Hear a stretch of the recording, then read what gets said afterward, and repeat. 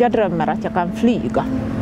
Och det är nästan så att jag önskar att det skulle vara sant. I natt drömde jag om att jag blev inbjuden till ett bröllop där Nalle Valros var gäst. De som jag kommer ihåg är ofta såna lite mardrömsaktiga. Harvemmin mä muistan niitä ja silloin kun mä en muista niin mä en oikein tiedä mitä unta mä oon nähnyt. Jag vet inte vad jag hade gjort för illa men att han stängde mig in i tre rum. Jag drömmer och jag drömmer i färg. Jag förvandlades till en stor krokodil och så var jag dum i två månader. När jag var liten så drömde jag att jag flög ovanför tallarna hos mina föräldrar.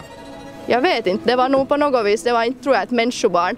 Men hon tyckte det var helt fint och hon gick runt med den då och var jättestolt. Oftast är det någon form av katastrofer eller att jag själv känner att jag är jagad och, och kommer just i sista sekund undan. Kom det en björn och i det skedet så brukar jag lyckligtvis vakna upp. Den är lite obehaglig när man går naken någonstans.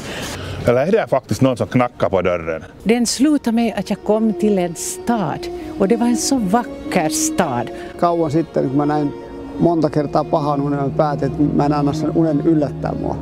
Och så åt alla glass. Ett, två, tre, fyra. Sen vaknade jag. Om jag kommer tillbaka någon gång om hundra år så hoppas jag att jag gör det som en ängel.